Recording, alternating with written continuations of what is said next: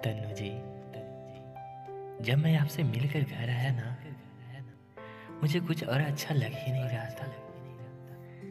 ऐसा लग रहा था कि मैं अभी भी उसी ख्वाब में हूँ जब मैं तुम्हारे पास था।